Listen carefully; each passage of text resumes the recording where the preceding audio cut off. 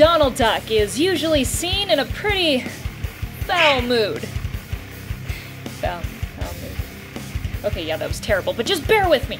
Some people may think he's just angry all the time, but he's really not. Donald actually has a pretty upbeat outlook on life. That is, until something comes along to ruin it. However, his short fuse is what people know him for, which makes sense since he was created to balance out that goody two shoes mouse, Mickey. In fact, Donald is kind of a shield for Mickey. He does all the grimy, violent things that Disney won't allow Mickey to take part in. Oh, hmm, kind of like how I do all the research nobody else here wants to do, straight from the desk of Death Battle.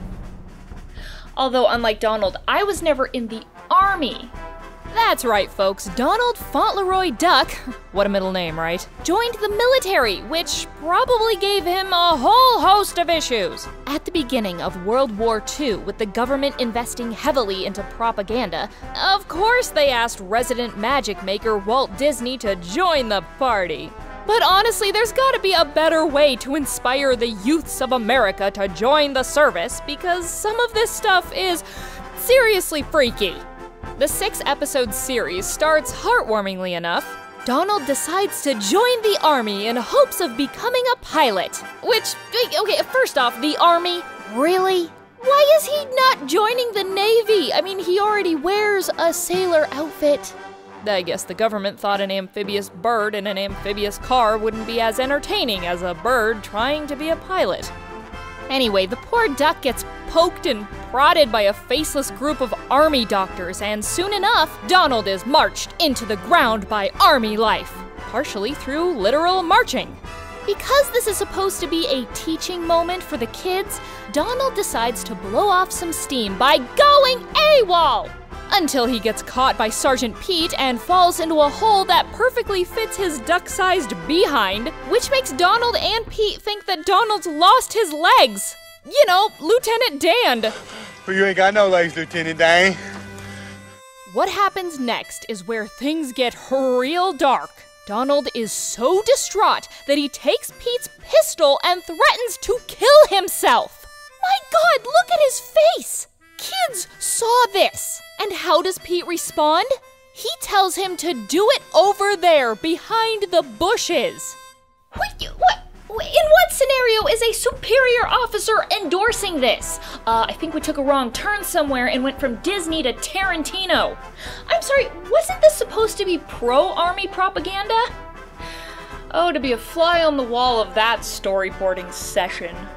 Right after almost, you know, killing himself, Donald is sent out on a solo mission behind enemy lines. Yeah, because sending a mentally compromised soldier out on an important mission without getting him help is really just the best idea in the world. Yeah, do that. This episode shows not only a host of awful Japanese caricatures, but also Donald destroying an entire Japanese military base. So keep in mind the next time you look into Donald's eyes, remember, He's taken countless human lives. Donald's awful experiences in the military probably contributed to just how bad his temper is nowadays. I'm gonna go out on a limb here and say the Duck's likely got some PTSD from his time in the service. Let me give you an example. Before the war, in a comic strip called Familiar Profile, Donald sets up a trap for whoever has been raiding his fridge. Only to find out it was himself, sleepwalking. What a wacky misunderstanding. After the war, in a 1945 comic issue, he found himself in the exact same situation. Only this time, Donald immediately blames his nephews, and when he's interrupted in the middle of his sleepwalking, thanks to some strategically placed firecrackers, he thinks he's back in the war! Donald chases after his nephews with a curtain rod for a bayonet and calls them all sorts of racial slurs. And his nephews just laugh it off.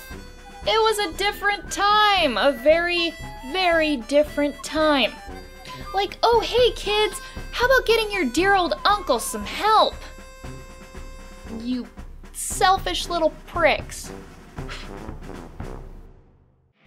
Oh, fun fact After the war, Soldier Donald was never really seen again, not even to get discharged, which meant by the time Donald's 50th birthday rolled around, he had spent 43 years on active duty. Luckily for Donald, he was honorably discharged on May 19, 1984. He even got promoted to Buck Sergeant. We thank you for your service, Buck Sergeant Duck.